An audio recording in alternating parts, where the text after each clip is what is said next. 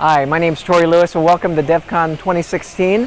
Uh, I'm here showing off the Gen 4 interoperability demo between LeCroy and Synopsys. So here we have the Synopsys HAPS DX7 prototyping platform. Inside this FPGA is the Synopsys DesignWare Core IP for PCI Express. Down below, we have a Synopsys PHY Gen 4 at 16 gig. It's running across the backplane, the Teledyne LeCroy backplane at 16 gig, going into this Teledyne LeCroy Z416 exerciser that's acting as the root complex. On the BIO board, we can see that this is a Gen 4 capable device. That's that first digit. The second digit shows what the current link rate is. It's running at Gen 4. And the 1-1 is the LTSSM state machine encoding. 1-1 for Synopsys is L0.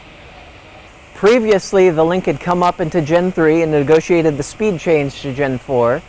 Here, the Synopsys endpoint begins sending its phase 0 TS1 equalization controls. The root complex, the Z416, sees that and responds with phase 1 the, link, the equalization process then continues to phase two. The endpoint analyzes the incoming eye using its PHY and then adjusts the transmitter if necessary of the exerciser.